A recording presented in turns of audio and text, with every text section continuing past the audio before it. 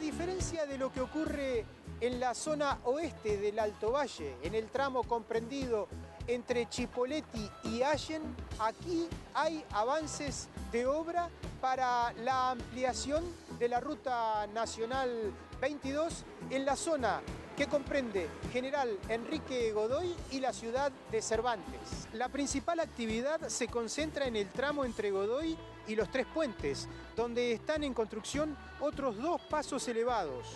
Además, en ese tramo de unos 3 kilómetros se está trabajando en la construcción de las calles colectoras norte y sur a la ruta 22. En el puente elevadizo que se emplaza en el ingreso a la ciudad de General Enrique Godoy ya han sido concluidos los trabajos de asfalto.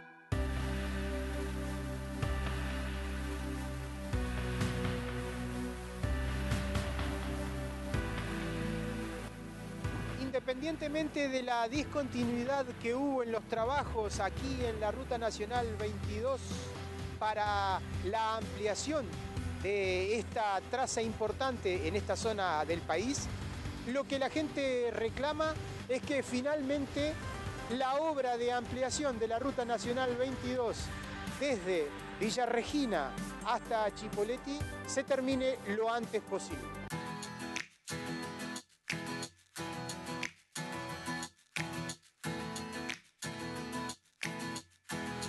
Los puentes elevados que está habilitado desde hace varios meses es el ubicado a metros de la Escuela Rural número 43, en el ejido de Ingeniero Huergo, mientras que en otros dos, a la altura del ingreso principal a Mainqué, restan obras de terminación como la construcción de las defensas laterales, entre otras construcciones.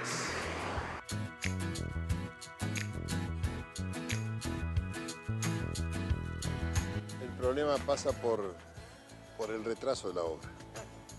Eh, de cualquier manera, es una obra que es importante, es muy importante, pero vemos que cada vez está más atrasada.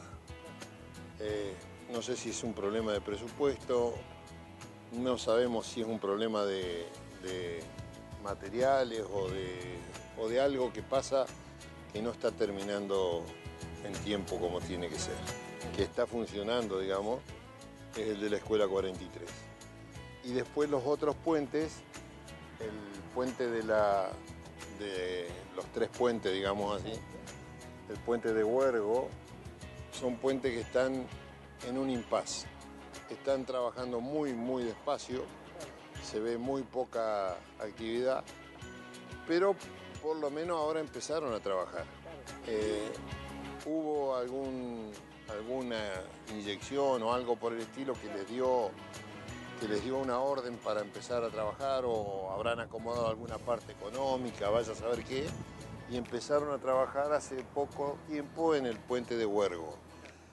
En el puente de, Godoy, o sea, en el puente de los tres puentes, es una obra mucho más grande porque es más, más extensa, cubren dos o tres eh, canales que cruzan ahí y están trabajando también. Nosotros eh, tuvimos que alquilar la estación de servicio, la tercerizamos y estamos eh, viendo a ver que, que, les vaya bien a los muchachos que me la alquilaron y, y bueno, ellos tienen un transporte y eh, tienen otro, otro movimiento, pero a nosotros sí nos perjudicó y mucho.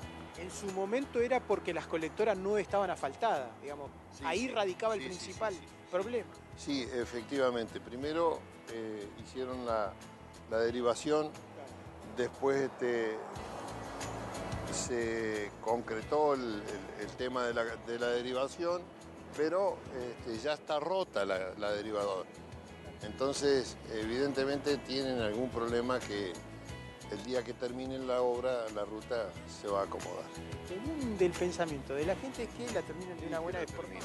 Por supuesto, por supuesto, porque uno ve, eh, yendo hacia Roca, eh, las obras y ve alguna- algunas cosas que le falta poco.